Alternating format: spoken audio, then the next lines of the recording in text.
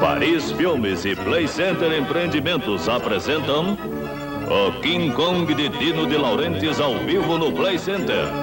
O King Kong está solto no Play Center. Vá sentir de perto todo o terror e emoção do maior monstro do cinema.